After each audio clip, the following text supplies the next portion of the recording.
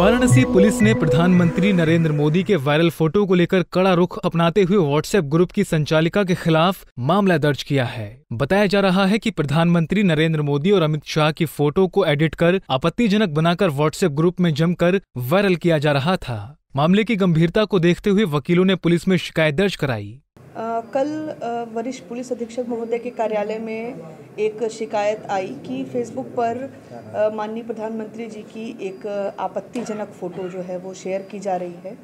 इस शिकायत पे तत्काल संज्ञान लेते हुए थाने में, थाना कैंट में एक मुकदमा आईटी एक्ट का इस संदर्भ में दर्ज कर लिया गया है और विवेचना की अग्रिम विधिक कार्रवाई की जा रही है। फ़िलहाल पुलिस ने व्हाट्सएप ग्रुप संचालिका के खिलाफ मामले में आगे की कार्रवाई शुरू कर दी है। वाराणसी से काशीनाथ शुक्ला की रिपोर्ट।